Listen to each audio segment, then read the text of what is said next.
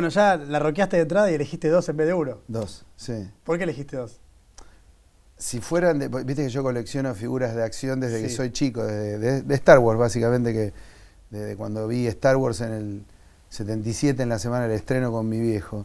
Y Star Wars significa un montón de cosas porque yo estaba como, como eh, metiéndome en un viaje que mis amigos estaban fascinados con las naves, qué sé yo, y yo, a mí lo que me pegó de entrada fue eh, Obi-Wan Kenobi con Luke, y después mi viejo ahí me explicó de chi- muy chiquito que era un maestro zen y un el joven Padawan, un- su discípulo. eh, y entonces como que, ahí me impactó muchísimo eso y después me di cuenta muchos años después que mi viejo me estaba explicando el budismo. Y después el Joker que representa el Batman, que a mí Batman me encantó porque era un millonario que, que utilizaba el, el dinero para hacer el bien y, y que tenía muchos problemas. Y después cuando leí los cómics me di cuenta que ah, estaba el Caballero de la Noche y que Batman tenía unos problemas terribles, que era... La película que citas, Star Wars del 77, en un momento, en la escena final de la batalla final, Sí. Luke Skywalker recuerda la voz de Obi-Wan Kenobi, que se le aparece, y le dice, apaga tu computadora y confía en tus sentimientos. Claro. ¿Vos vivís un poco así? Sí, es el, el espíritu de, mi vida, es eso. Tengo el espíritu que está adentro del físico, porque el día que no está más el físico, el espíritu, eh, así como me decís en Star Wars, ¿viste? Cuando lo mata Darth Vader a Obi-Wan Kenobi y le dice, mirá que me voy a convertir en algo más poderoso, yo lo creo porque con mi papá viví eso, con mi abuela, que es la que me inspiró Lady Sol, y, y con Gaby lo vivo ahora todo el tiempo. ¿Te enfrentaste a muchos eh, Darth Vader en tu vida?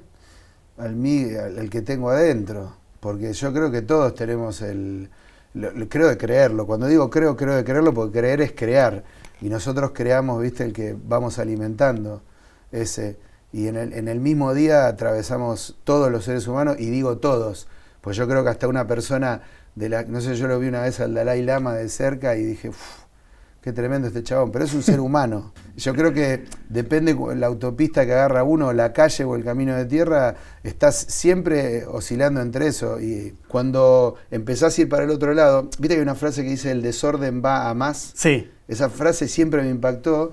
Y entonces yo creo que cuando el desorden va a más, o, o haces el esfuerzo, porque para caer en el lado oscuro no tenés que hacer ningún esfuerzo. Vos lo- con lo que convivís es con el Darth Vader que tenés adentro. Sí. Ese lado oscuro de la fuerza que tenemos todos, ¿vos cómo lo llevas? ¿Cómo lo transitas? Mira, escribir una canción que ahora que grabamos con Catupeco a dos baterías, con Abril, Juli y Charlie, que se llama Y se detuvo el tiempo, que la, compuse cuando vine del, del desierto de Marruecos con Marcelo Pedriti y Elena, que me fui a hacer un trabajo, pues estaba, después de haber parado a Catupeco, de haberlo matado, llamarlo como sea, me fui, viste, y, y la canción empieza diciendo, me voy a resolver un ademán que construí despierto. Bailé con lo que no debí bailar y me perdí en el tiempo. Por eso escribo, porque no sé, en, toda relación amorosa, si, que siempre llega en un momento del conflicto, porque va a llegar, es como, viste, salvo que comas muy medido y lo que tenés que comer, no vas a necesitar tomarte un líquido de alcachofa después, ¿entendés? Pero yo como me gusta todo, viste, siento que, viste, que, que es difícil, eh, y por eso escribo. E- escribir canciones, que es lo que has hecho. Y me exorciza, me hace... Claro, te me saca, hace- te me saca hace el Darth Vader, digamos. Claro, me hace no ser el... No te come. el- el- la, la música a mí me salvó la vida porque en el momento que más me podría haber muerto, que fue después del accidente de mi hermano, ni siquiera te digo cuando murió mi hermano. No, no, cuando murió la primera vez, Gaby, que fue en el 2006, y ahí, bueno, si tanta gente me dijo, yo no sé cómo hiciste, yo no sé cómo hubiera hecho, yo me hubiera, y bueno, si tanta gente me lo dijo, es que hay mucha gente que le hubiera pasado eso. Entonces, creo que me, sa- me salvó la música y después hay mucha gente que me dice, a mí me salvó tu música. Hay gente que tiene una religión, gente que tiene un ídolo, ¿viste? gente que idolatra una estatuita y, si le hace bien está todo bien. Hay gente que le hizo bien eso. Vino un, nenito, el día que dije misión cumplida había pasado el accidente de Gaby y viene un nenito y se ve que en uno de esos exorcismos que hago, que por ejemplo entero a pedazos o Mil voces finas y no me acuerdo qué otro tema era, vino un nenito de 8 años y vienen unos amigos que estaban ahí como el primer cordón cuidando los miles de personas que querían entrar a ver a Gaby y al tiempo y me mandaban cartas y me quedaron grabadas dos cosas. Eh, una chica que venía a ver siempre a Catupecu y entonces me dice ella, ¿leíste vos eh, la letra de Catupecu? Le digo, no, las hice, pero no, no las leí. Me dice, ah, léela, porque en momentos como este eh, te pueden ayudar, ¿viste? y entonces me quedó eso dando vueltas. Y viene el nenito, estábamos en la terapia intensiva afuera con mi mamá y muchos amigos ahí y amigas que me, estaban cuidando, no estaban cuidando a mi vieja y a mí.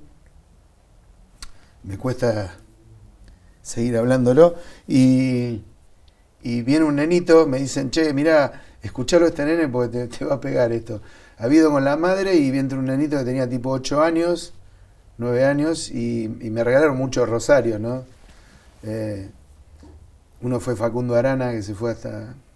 Facundo Arana, el actor. se fue con su Harley y él se salvó, viste, de un cáncer y entonces lo llevó y, y estaba una amiga, una hermana de Gaby, y se lo dio, le dijo, mira, a mí esto me sirvió ya, yo con esto como que recé y me salvé y no sé qué, es para Gaby. Y eso me pasó con este Benito también. Eh, y, viene el nene y me da el, rosario y me dice, me dice, mira, yo, ocho años, ¿eh? Me dice, yo, recuerdo la idea, ¿no? Pero me, hablaba así, ¿viste? Me dice, yo me tengo que hacer diálisis y sufro mucho y me duele mucho. Y, y lo único que, que a mí me sacó adelante y me hizo bien. Bueno, a mí me dieron este rosario y yo rezaba, pero era la, música de Catupecu, tu música. Y ahí me, acuerdo que me nombró entero a pedazos, mi voz es fina, no sé qué más.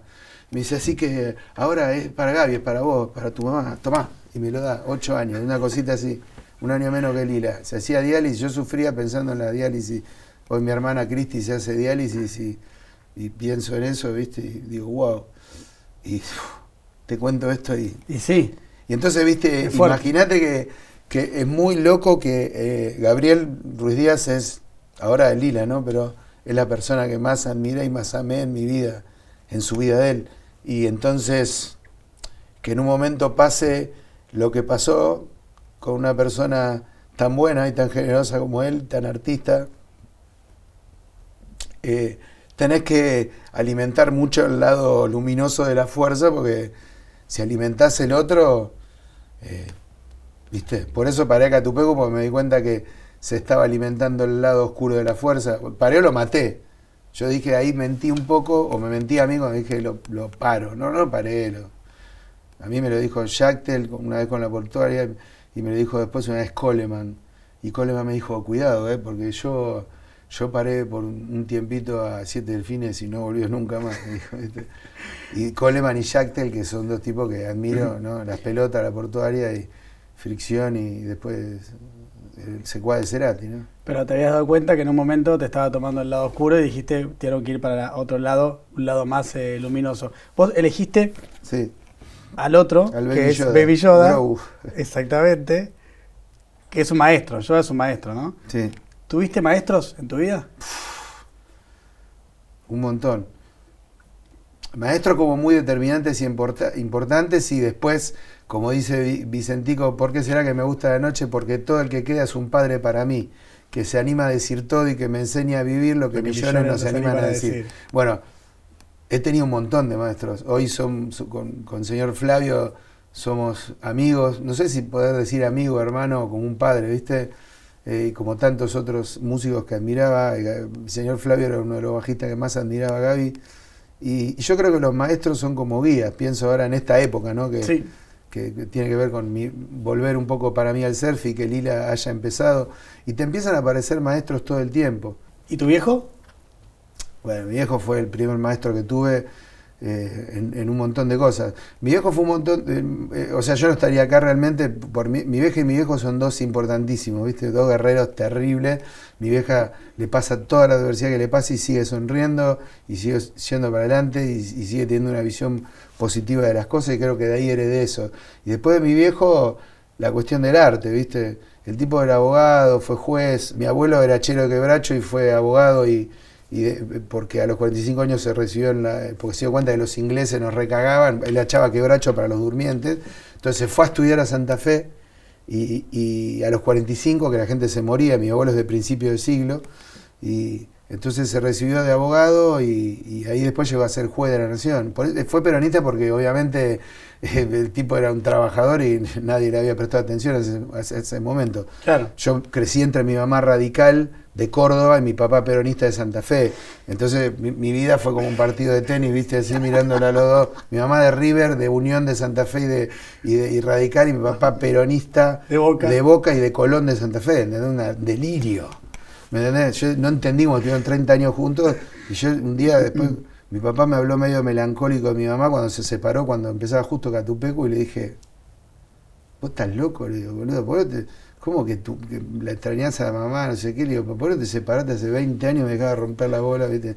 Bueno, pero esto viene a, lo de, a, lo de esa cosa que tuvo que ver. Quizás si mis viejos no me regalaban, la, inspirado muy por mi viejo también, ¿no? La guitarra, el microscopio, las herramientas entonces tengo una fascinación con la, ciencia, ¿viste? Y con la electricidad y con, todo. Lo que pasa es que, bueno... ¿Qué te fascina de la electricidad?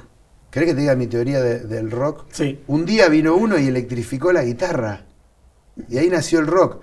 Y el rock es la única música, porque yo si a, un extraterrestre le pongo cualquier música clásica, llámese Debussy, Bartok, eh, o lo que quiera vos, ¿entendés? Eh, eh, no sé, a Mozart, que Gaby era ultra fanático de Mozart, y y de, de baje, qué sé yo, vos le pones eso y el audio es audio de música clásica, son violines y después cómo los pones, la tragicidad que le das. En cambio el rock se metió en el mainstream y es una sinusoide que ninguna música lo tuvo, porque Catupecu Macho es rock, Babasónicos es rock, Los Violadores es rock, Los Cadillac es rock, Cienfuegos es rock.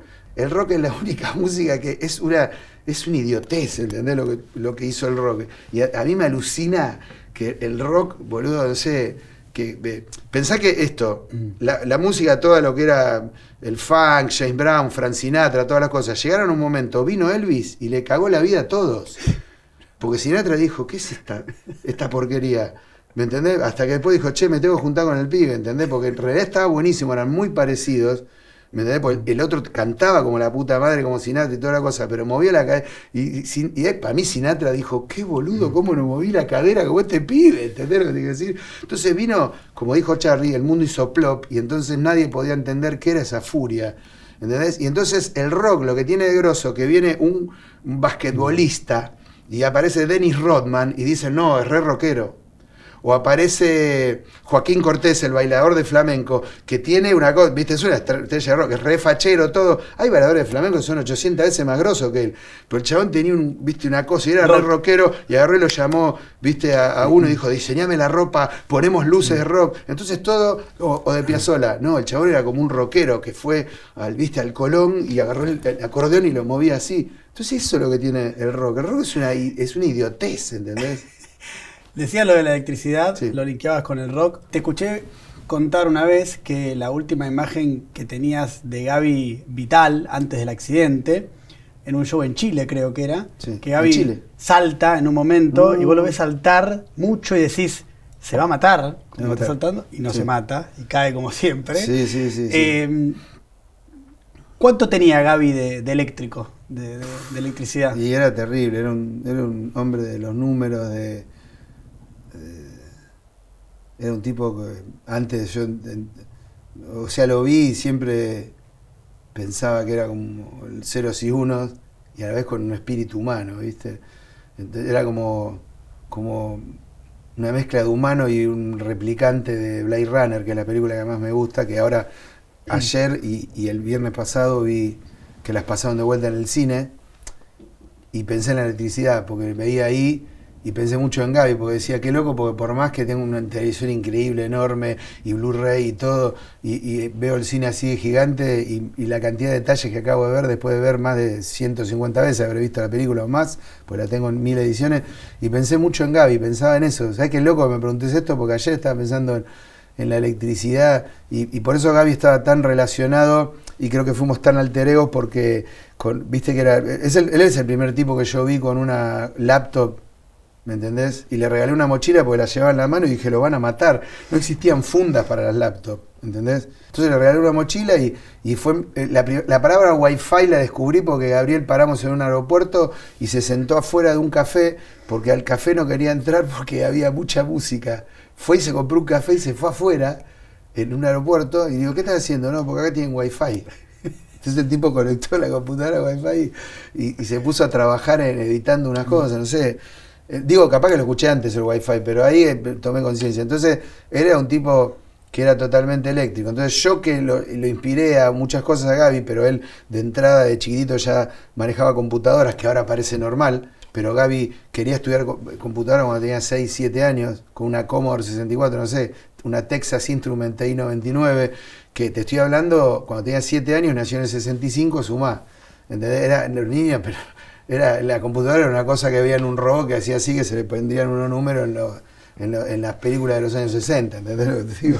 Entonces, ese tipo era un tipo totalmente que yo creo que la electricidad necesitó que exista Gabriel Ruiz Díaz. Y entonces ahí nos volvimos tan alter ego que yo toda mi parte, esa de la ingeniería y toda la cosa, y que yo manejaba computadora, la dejé de lado. Entonces, que era Gabriel, y para mí era esa electricidad, ese alter ego que empezamos a hacer los otros dos, y porque yo necesitaba estar en ese lugar muy primitivo de la composición y de, meterme en eso, que después venía, nos juntábamos con Gabriel y, explotaba todo. Como dijo Spinetta, Catupecu me hace acordar a Pescado Rabioso. No te lo digo por la música, te lo digo por esa cosa del complot universal para que explote todo. ¿Entendés?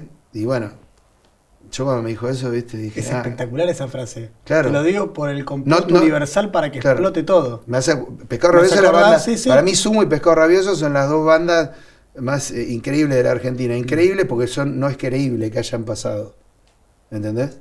Sumo es la banda que más representa a la Argentina un italiano que vino, pero que hablaba castellano así, con uno de Coso, uno de Hurlingham, y se fue a Córdoba. Por... Eso es un argentino, un quilombo. Al igual que Spinetta me dijo esto, Petinato me dijo en un camarín que estaban eh, Petinato, Germán Dafuncho y Piti Álvarez. Y me llama el fallecido gallego, que era el encargado de la, vos lo habrás conocido, el de la, el de la comida, de todos los festivales que hacía Popar y todo. Me dice, Fernando, vení que estar allá Peti y Germán que quieren hablar con vos, están con Piti ahí, están ahí en un camarín, ¿viste? Y bueno, claro, era petardo todo, ¿viste? Año nuevo, ¿viste? Volaba todo. Estaba Katy Perry con Firewall, na, na, na, Firewall, ¿viste? Yo había tocado con Fito. había tocado con Fito, creo que era. Eh, Ciudad de Pobres Corazones, una cosa increíble. Y entré al camarín era surrealista. Era como ese cuadro, viste, que, lo muestran a Van Gogh, a Dalí y a Frida Kahlo en un descapotable así, era eso, el camarín. Eso sí que es energía, ese, ese cuarto en el que entraste. Terrible, boludo, tres tipos que amo, viste, que, y que, yo no puedo creer que, viste, Petinato y Germán, no sé, sean admiradores de Catupeco Macho, Entonces yo entro, yo había grabado con las pelotas, y estaban hablando Germán y, y, y, y Peti, y Petty lo mira a Germán y dice, no, porque estoy hablando de vos y le digo que este es un pelotudo, ¿cómo no te llamó todavía para grabar con él? Y no sé qué, porque yo le digo, viste, que vos me cagás la vida, porque después que toco con vos, a veces zapamos de hace muchos años, después que toco con vos no puedo tocar con nadie. Y entonces agarra y Germán hace así. Y dice, ¿le puedes contar vos? ¿Y qué? Le digo, y que acabamos de grabar y no sabemos, se puso petinato. ¿Y cómo no me dijiste? Pues dejo que hable boludeces. Y yo había grabado, si quisiste ver, hacía poco con las pelotas. Entonces, esa situación, yo que iba a ver a Sumo, y yo no puedo creer, y Sumo y Pop y Pil, viste, la banda de John Lydon, la primera vez que vinieron acá, eh, fue lo más impactante que vi en mi vida. Entonces, y Soda Stereo en River, viste. Y, y Sumo era, imagínate, era como ver el circo Rodas con, eh, con el zoológico, pero con todas las puertas abiertas. Y que los, los chabones entraban corriendo después. Para mí sumo era eso, era como un zoológico que decía, no, no, pará, pará, pará, vení, vamos adentro, cerrémonos un poco. Blum, ¿viste? Y cerraron la puerta. Entonces, que esos dos tipos me estén diciendo eso. Y Betiato mí dice, vos sos el único que podrías haber cantado en sumo, pero estaba Luca. Me dice, ¿viste? Y yo me quedo así, boludo. Yo me, me acordé cuando Spinetta después me, me dijo eso, lo del complot universal para que explote todo. Y digo, ¿viste? ¿qué está pasando? ¿Qué aconteceu, viste? ¿Viste? ¿Qué aconteció? Porque estaba en Brasil un día y entra, estábamos viendo Batman en portugués, que fue increíble, la antigua, y se arma un quilombo terrible, aparece Batman y y aparece y dice, ¿qué aconteció? Y a mí me mató, ¿viste? Entonces sí me acuerdo. No, entonces lo, que digo es, es, eh, eh, la conjunción de esas cosas hacen que en ese momento cuando te llega ese mensaje, vos decís, che, bueno, debe ser que algo de verdad hay en esto. ¿Entendés? ¿Cómo viviste los 15 años que, que Gaby estuvo postrado. 16. 16 años. Sí. ¿Cómo viviste esos 16 años?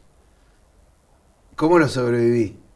¿Cómo lo viví? Eh, lo único que, me, que pienso es que agradezco la fortaleza que me dieron mis ancestros y mi viejo y mi mamá con todos los defectos que, y virtudes que pueden tener. Las virtudes, soy hijo de ellos dos, no nací de un repollo, como dicen, pero después le, le agradezco la fortaleza, porque yo entiendo que si no tenés una fortaleza que ya te viene en el ADN o qué sé yo, no te Bueno, morís. tu abuelo estaba con el quebracho. Y mi abuelo, claro, ¿No? achaba quebracho. A mí, a mí siempre, no sé, yo siempre sentí la misión. Entonces, yo creo que lo que me mantuvo un poco fue esa fortaleza que viene, que me dieron, que eso no es mérito mío, ¿eh? La fortaleza o el talento, viste, la gente dice no, o el que te habla mucho de su talento. El talento, yo tengo talento, ya lo sé, pero no es mérito mío, yo no tengo nada que ver, eso, eso vino. Después, lo, lo que es mérito mío es lo que trabajo para, para alimentar ese, ese Obi-Wan Kenobi, más que el Darth Vader, ¿entendés digo? Al Darth Vader lo agarró para escribir canciones, ¿viste? Magia veneno, porque lo escribí yo. Vivo fuerte madrugada, que al otro día siento, piel de oro, de la luz hacia el oscuro, magia veneno. Y del oscuro hacia la luz todo nuevo. Todavía, del oscuro hacia la luz, se ve que tengo un poco de energía vital para, para salir. Entonces yo creo que la fortaleza también te la da el arte, eh, lo que me inspiró el arte, ¿entendés? Yo cuando estuve en la casa de Dalí, y para mí, lo- por eso me sorprendió siempre el surrealismo. Y el otro día contaba una nota que yo admiro mucho, por ejemplo, a Fito cuando dice, se me hacía tarde, ya me iba, o cuando relata Tumbas de la Gloria, tu amor. Él, él puede hacer un relato, es como un trovador, ¿viste? Yo no puedo hacer eso. Yo escribo más como pinturas surrealistas. Y siempre me pegó. Entonces cuando estuve en la casa de Dalí, que fui al museo de Figueres de Dalí, después me dijeron, andate a la casa pero en el último turno. Porque cuando se van todos, todos quieren huir rápido y vos te quedas a las cinco y media de la tarde en el atardecer, ahí viste, en Port Ligat, eh, el atardecer que veía Dalí. Y hay barquito, no había nadie, viste. Y cuando estuve en la casa como que me sorprendí porque dije, ah, este tipo era el surrealismo. Realmente, era así, estuve en su casa y yo vivo un poco así. Eh, Te lo digo ahora ya siendo un hombre grande, un Sí, viejo, sí, tengo sí. 53 años, y viste, y te puedo, no- para no, para no hablar yo de mí, Zeta Bossi es una persona súper importante en mi vida, fue el bajista en Catupecu Macho durante un año y pico, antes de que vuelva Soda de Catupecu, por algo fue, él estaba al lado, a- Diego Arnedo y Zeta estaban al lado de Gaby en Coma 4 muchos días seguidos, ¿entendés? Y después, bueno, divididos, eh, eh, Tiere Arnedo y Z estaba ahí, y bueno, fue, te, te corres un poquito para dentro del escenario, y era nuestro amigo, nuestro hermano. Y era en una nota que hicimos juntos, no sé si era en Chile, en el último show que hicimos con él, en el único show que se hizo del Vive Latino en Chile, como ahora es el Lola Palusa, ¿viste? Pero eh, eh, querían hacer eso en Chile y se hizo una sola vez, el, el gran Vive Latino, que es el, el amado festival mexicano. Y, Z en la nota dice, no, no, porque Catupecu dice es como una tribu y, y vos lo, ves a Fernando y él está en performance constante, dice él. Y yo me quedé, ¿viste? Y dice, como él no actúa, está así. Y yo vivo así, ¿entendés? Eh, entonces, creo que eso fue lo que me mantuvo como estar siempre en la misión. Me permitió que, que después de lo de Gaby, después de la muerte esa de Gaby, es algo tan atroz que te morís. El dolor es tan fuerte que yo había momentos en que decía, cortame acá porque no aguanto más el dolor. Pues es, es un dolor físico, espiritual. Entonces, creo que e- e- esa misión, y, y yo creo que me ayudó mucho el, el vivir como vivo todo el día. O sea, vos venís a mi casa y es mi casa. No vas a ir a mi casa y va a tener cortinas blancas y. No, mi casa, qué sé yo. La mayoría de la gente, si la tengo que dejar sola, que se- mi hija está conmigo sola, ya me sube, me dé porque ya creció conmigo así. Pero hay gente que es. La mayoría de la gente, Leandrito, el bajista de Ciporqui, lo dejé a dormir un par de noches y me dijo no duermo nunca más. Porque lo es muy grande, porque ten- en ese momento tenía un fantasma, porque. Porque hay- calaveras por todos lados, qué sé yo, no sé, ¿entendés? No, eh, Es como vivo yo, ¿entendés? No, no es que venís a mi casa y, y encontrás una casa, viste, y está todo flower power, no. Yo vivo así, ¿entendés? Soy así. Y esa, Mi esa- auto es negro o blanco, pero también tengo uno blanco. Eh, Pero qué sé yo. y esa, esa primera muerte de Gaby, Sí. que fue el accidente que lo dejó, lo dejó postrado a Gaby, Mm. vos la atravesaste durante 16 años porque tenías una misión, que fue lo que te permitió Sí. salvarte y salvar a otras personas, que es el arte en definitiva. Y, y después de la segunda muerte de Gaby, que fue cuando Gaby ya no, no, no pudo más y se fue físicamente, digamos. Y ahí, ahí sí directamente sentí que O sea, eh, pasó una cosa muy... Yo, yo que vivo ese costado de que te conozca mucha gente y vos no la conozcas, obviamente no vivo lo de Maradona, pero sí vivo una cosa con millones de personas. Y sí. Y en ese sentido es lo mismo. Es como decir, bueno, lo que vivo es lo mismo. O sea, estoy con mi hija comiendo y vienen y me estoy así y me dicen, disculpa que te joda. Y el disculpa que te joda, ¿entendés? Eh, eh, entonces, si se ve que me está jodiendo y tengo la lechuga en la boca y mi hija está adelante, y me, ¿por qué me dan la mano si me la acabo de lavar en el baño? ¿Entendés? Entonces, eh, como dice Bumburi en la canción Enrique Bumburi, a todos nos sucede lo que sucede. Entonces, entendí, por ejemplo, que Maradona se murió en la cuarentena porque, no, porque el tipo de su vida era viajar, estar ahí, siempre en la acción. Sí, a Maradona lo mató. Lo, mató la muerte a él, ¿viste? Porque hay gente que la mata la vida. A Gustavo Cerati, a Gaby los mató la vida, no la muerte. La muerte le, le tenía miedo a Gustavo Cerati o a Gabriel Ruiz Díaz, ¿entendés? O a Luca Prodan. Los mató vivir, ¿me entendés? Y bueno, todos vivimos. Lo que pasa que, que los problemas que tenemos adentro muchas veces no los alimentás, se alimentan solo de cosas, ¿viste? Y pasan ahí. Pero además, con lo emocional que vos sos y la conexión que vos siempre tuviste con Gaby, estabas percibiendo que Gaby se iba a ir. Que iba, Gaby se iba. Gaby se iba, yo lo sabía. Em, tuve algo muy complicado que cuando yo no podía ir, lo escuché a él. Eh, en un momento yo le dije muchas veces, andate, si te tenés que ir, andate.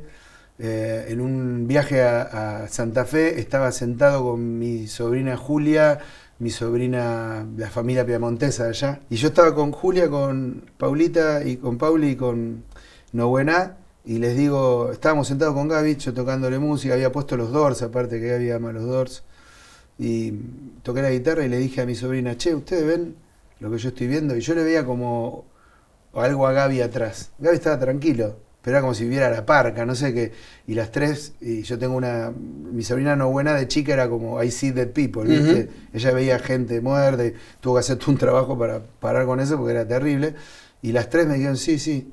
Y digo, se va, ¿no? Entonces hubo algo muy lindo que le pudimos decir a Gaby en toda esa charla, fue Gaby, anda tranquilo, porque nosotros, no es que estaba mal, ¿eh? Pero ya me di cuenta en ese viaje. Y le dijimos, anda tranquilo, a mamá y a Cristi la vamos a cuidar nosotros va a estar todo bien, ya si cumpliste tu misión, está todo bien. Porque Gaby tuvo una gran vida en esos 16 años, que sería un capítulo aparte hablar de eso, pero una gran vida, digo, porque el tipo estaba preparado para esa vida. Entonces, después cuando murió, el 23 de enero, yo pensé que estaba preparado para eso. Como justo se había caído el edificio de Miami, ¿viste? Sí. Eh, entero. y en ese momento a mí se me cae la columna literalmente. Y me sale una doble hernia de disco y fue terrible. Y yo estaba solo en mi casa ahí, me arrastraba por el piso para ir al baño, no podía ni que venga mi hija. Y sentí tanto dolor físico, porque siempre digo que las alegrías no se juntan. Si vos juntás todo lo rico o todas las alegrías en un momento estás muy alegre, te explota el corazón porque no podés. Más alegre, ¿viste? Pues si te blum, explotás. Pero las tristezas sí se juntan todas. Y vos ya no sabés si es la resaca espiritual de esto, de qué. Y a mí se me juntaron todas. Y entonces yo me lo que sentí, yo no tengo, me cuesta creer en el ataque de pánico a mí, porque yo no tuve oportunidad nunca, porque como soy el capitán del barco, como me dicen los chicos, eh, en Catupecu, en Bantra, o como soy el líder de muchas cosas, o soy el que canta, y yo no puedo. Yo he cantado con 39 grados y medio de fiebre y reírme y decir, si me caigo acá ya está. ¿Entendés? Literal, y el corazón así, bueno.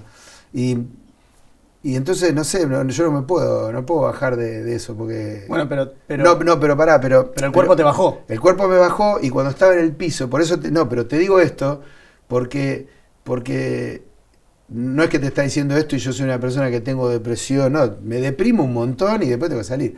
Pero en ese momento entendí, viste esas epifanías que te bajan, y viste cuando te enterás que decís, che, boludo, fulano tenía 40 años y se murió, pareció muerto, qué sé yo, cómo se empieza a sumar una cosa, el corazón se marchita y, se para, te morís, ¿entendés?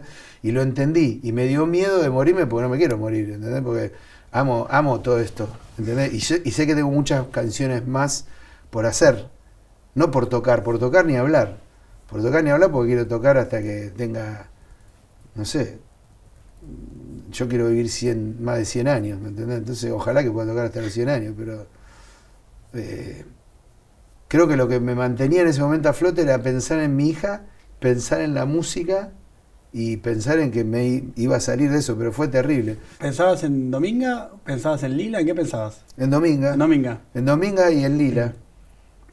Y en Cristi. Porque mi hermana. hermana Cristi. Y mi hermana Cristi perdió los riñones porque en la filosofía oriental los riñones son la tristeza. Y mi hermana, desde que murió Gaby, ella no, pudo superarlo. A Cristi no, no, no, le funcionaron más los riñones de golpe. Y, ella está viva porque se hace diálisis, porque es un guerrero terrible, una guerrera terrible, y porque no quiere dejarla sola a mi mamá. ¿Viste? Porque Gaby, ella y Dominga eran como una unidad también en estos últimos 16 años. Entonces pensé mucho y digo, che, no la puedo quedar acá tampoco. Y aparte porque un poco... ¿Vos viste la película El luchador, la que trabaja Mickey Rourke? De Darren Aronofsky. Sí, Terrible película. Sí. Y viste cuando el chabón va al cardiólogo y el cardiólogo le dice, che, mirá que te, bueno, por toda la papa que tomaba, que yo tenía el corazón agrandado, y le dice, bueno, podés pelear más. más. Y el tipo, viste, el mensaje que me queda de la película, esto es mi vida, y la película termina que el tipo se, sube al ring y se para y dice, tipo, no sé cómo dice, pero me debo a ustedes, les yo soy de ustedes, ah, sí, se tira a pelear. Y a mí me pasó eso. O sea, yo si fuera... Eh, yo no me operé la espalda porque eh, tres médicos que eran recontragrosos me querían acuchillar la espalda y yo dije, ni en pedo. ¿Sabes por qué? Porque yo no tengo una vida de. Mucha gente se opera la espalda, pero después tiene una vida sedentaria, dice, bueno, y van ahí acomodándola un poquito. Y yo, yo me voy con las botas puestas y me muero como los árboles de pie. Entonces, viste, eh, creo que, yo tengo una gran devoción por esta religión, esta liturgia que para mí es la música, el arte, y, porque siento que me tenía que. que, tenía mucho que, que hacer todavía. ¿Cuánto te parece que tiene que ver la partida de Gaby con el resurgimiento de Catupecu con Abril? Todo. Todo. Todo literalmente. O sea, Gabriel, eh, mira, voy a traer a colación las palabras de Marcelo Moscheni, Mosca, que, que fue el manager en ese momento. Y me voy a un momento que estábamos con Abril en el cajón de Gaby. Se van todos, era, una sala de velorios linda, y tenía atrás un mandala increíble, un vitró, y Mosca que estaba, mi imagen es que Mosca estaba sentado en el medio y justo mi vieja, todos habían salido a otro cuarto, y Mosca me dice, mira, tendría que haber sacado una foto ahí, pero no lo saqué porque no, no correspondía sacar una foto, pero me dice, pero todo lo que nos fue pasando en esos días, si hacemos un guion, que espero que alguna vez que alguien me pregunte todo y lo haga, eh, eh, Mosca dijo, no resiste un guion. Porque por suerte lo vivimos todos los que estamos acá, porque no es increíble lo que sucedió. Tres días antes que se muera Gaby, es muy largo, ¿no? Pero tres días antes que se muera Gaby, eh, yo no miro los mensajes por privado de Instagram. No sé por qué miré por otra cosa y digo, Miguel Adolfo Sosa. Digo, ¿y este se llama como Abril? Y digo, pues Abril no sé. Se había vuelto a poner Miguel Adolfo Sosa, cambió el Instagram y puso otro Instagram. Y lo veo, tenía un mensaje en privado y me, escribe y me dice, Fer, podemos, estoy en la terraza de casa escuchando cuentos de tres días antes de que se muera Gaby, ¿eh? estoy escuchando en la terraza cuentos decapitados como cuando tenía 12 años, vi el mensaje y me conmoví. ¿Viste? Y al otro día lo llamé el jueves y tuve la, charla más sincera con una persona con la que me separé de mi vida. ¿Hace cuánto que no veías a Abril? que hablamos mil veces. Yo fui a tocar con él, Gaby le produjo el disco. Hacía mucho no lo veía. Otra, otra repregunta, ¿hacía cuánto que Abril se había ido de Catupecu? No, no, cuando, cuando nos separamos fue 20 años antes, 20. Y, hacía mucho tiempo que no lo veía. Y él me mandó este mensaje y fue germinal, fue literal, fue, fue radical, ¿viste? Hablé 3 horas 45 antes que él se vaya a Europa, era, y y, bueno, me dijo muchas cosas que fueron importantísimas. Me dijo, quizás cometí un grave error al haberme ido de Catupecu. Y, le dije, no, no, no, no fue un grave error, fue el error más grave y más grande de tu vida, que quizás no lo puedas subsanar nunca. ¿Entendés? Y, y a las palabras de él, como es él, es un tipo muy orgulloso también él, y es, una de las personas más talentosas e increíbles, y te diré que Abril es el amor de mi vida. El amor de mi vida artística es Abril Sosa y Gabriel Ruidía. Pero bueno, como la gente me decía, él no quiso tocar nunca más la batería. Él muchas veces en ese lapso me dijo, Fer, tendríamos que juntarnos porque la gente, y no sé qué, hacer una banda los dos solos. Y yo le digo, teníamos esa banda, se llamaba Catupecu Macho. ¿Entendés? Pero bueno, ya después Catupecu siguió. Y, y así todo, esa charla fue tremenda, porque era como que unimos los puntos y era, viste. Y entonces en ese momento él me dice, y me pide a su manera perdón me dice, yo era un pendejo boludo, no me di cuenta, tenía 20 años, ¿viste? Fue increíble. Y él estaba, ¿viste? En su vuelta, él estaba volviendo a él. Entonces yo le digo, bueno, y me dice, nunca había Bantra. Le digo, mira, le digo, estoy viviendo con Bantra, créemelo, vos me conoces a mí. Eh, yo estoy viviendo con Juli y con Charlie, y, un tiempo antes con Pape, ¿no? Que fue el primer percusionista de Bantra. Eh, una energía en la sala que solo es comparable a cuando estábamos Gaby, vos y yo juntos en la sala. Dice, ¿en serio? Le digo, pero Aprile no es una ilusión que tengo, es así, es algo bestial, es algo tremendo. Juli y Charlie son dos animales, y qué sé yo. Y le digo, bueno, ¿querés ver a Bantra? Yo había tocado el cumpleaños más triste de mi vida, hacía poco en el Conex, y como era dentro de la cuarentena, la gente estaba en un corralito, terminó, nos fuimos al bar de Mosca que se llama Santos Vega, ahí en la tacuadra de Niceto. Y cuando fui después de mi cumpleaños, unos días antes, dije, che, este bar es como un espiquicio neoyorquino, es alucinante.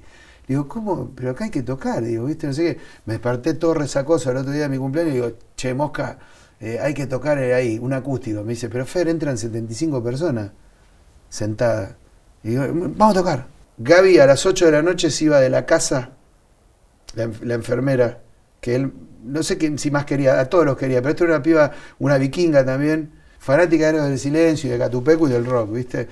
Y Gaby nunca lloraba, lloró algunas veces, pero de emoción, ¿viste? Y, acá se estaba yendo ella a las 8 puntual, que entraba el otro enfermero, en la casa de mi vieja, allá en Santa Fe, y le agarra las manos y le clavaba los dedos y estuvo 15 minutos llorando. Yo ya sabía, porque lo habíamos hablado con Abril, que nos juntó Gaby, lo sentíamos. Entonces, viene al show y cuando probamos sonido a las 8, porque se retrasó la prueba, de 8 a 8 y cuarto fue entero a pedazos. Y toda la gente en el lugar, los técnicos, todos, con lágrimas en los ojos, yo le veía y se miraban los brazos y decían, piel de gallina. ¿Entendés? Bueno, tocando entero a pedazos. Nos vamos al camarín, salimos a tocar y antes los abrazo a todos. Digo, bueno, este show es para Gaby, acá está Gaby, está Gaby con nosotros, es para Gaby, todo Gaby. Salió Abril, pasa todo eso, nos vamos, dos horas de camarín y yo lo veía a Abril y a Juli que hablaban, hablaban, hablaban, que se habían conocido ahí. ¿Y de qué hablaban? Eh, Juli le dijo, Abril, escúchame, yo sé todo de Gaby por Fer. Ah, ¿me contás vos? Y después que terminó todo eso, se van Charlie, Juli y Nico Virgo, un asistente de ahí, hasta la casa de Charlie, hasta Coglan, caminando, hablando de qué, de Gaby. Y ahí se murió Gaby. O sea, todo eso es el soundtrack de Gaby. Entonces, lo que sucedió fue que al otro día estábamos con Gaby todos ahí. Y entonces, esa unión que sucedió entre Abril. O sea, si Abril no me manda ese mensaje, hoy no está pasando, porque no sucedía ni siquiera el homenaje a Gaby en el Quilmes, que por eso sucedió. Y después, bueno, quedó esta reencarnación que sucedió así. Entonces, ¿cuánto tiene que ver mi reencuentro con Abril? Como las grandes e importantes cosas de la vida, todo. Yo no tenía ganas ni intenciones de juntar a Catupecu, ni que pase, porque esto no es un rejunte, esto es una reencarnación, pues yo a Catupecu lo maté. Y como yo creo en la reencarnación, la reencarnación se da en otro cuerpo. Y ahora esa reencarnación volvió en Tecnópolis, en ese show que, del que hablas, y vuelven ahora el 9 de diciembre en Obras. Total. ¿Qué te imaginas de eso? ¿De cómo va a ser? Obras es el templo del rock, Obras es el primer lugar, el único lugar con el que soñábamos tocar con Gaby y con Abril, y lo hicimos. Es un lugar muy especial. Y entonces, el 9 de diciembre para mí es como. Es como. Como uno vuelve, viste, aunque sea psicológicamente, espiritualmente, a esos lugares donde fue feliz, viste. Y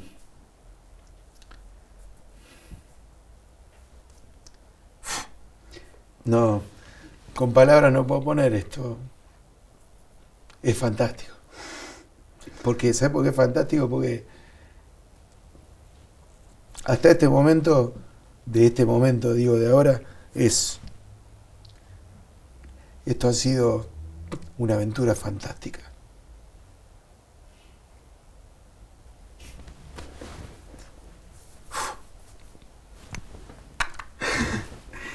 y. Eh,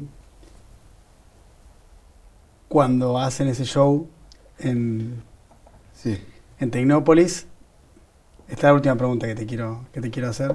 Haceme todo lo que quiera, porque creo que estas son esas. estos encuentros, pero no puedo llamar entrevista que. que decir, ¿por qué no dura un ratito más? Por mí mismo lo digo. Yo la estoy pasando increíblemente. Eh, sí. Bueno, el show de Tecnópolis, ese fue el show más importante de mi vida. ¿eh? Y un momento muy hermoso ese show que ustedes pasan un, video de Gaby. Mm. Ahí Gaby dice algo así como que su sueño es ir a la luna, porque de las cosas, de las cosas posibles, eh, sí, las hacemos. Las hacemos. Y que soñar en serio es, es ir a la luna. Parafraseando a Gaby, y para cerrar te pregunto, ¿qué sería para vos tu sueño, soñar en serio? Como para Gaby ir a ir a la luna.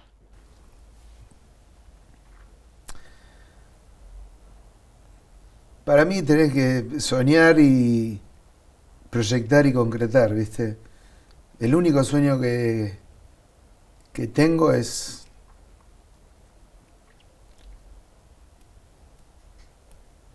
que el mundo esté cada día un poquito mejor y que las musas, no las músicas, las musas físicas, porque hay una musa física que es Lila Ruidía, que para mí es todo. Eh, pero el sueño, digo, lo tengo como sueño porque no con, eso no físicamente no, puedo hacer nada, ¿no? Es algo que ojalá que suceda, que es que la música siga teniendo ganas de estar conmigo. El único sueño que tengo. Y de ahí todo. Gracias, Fer.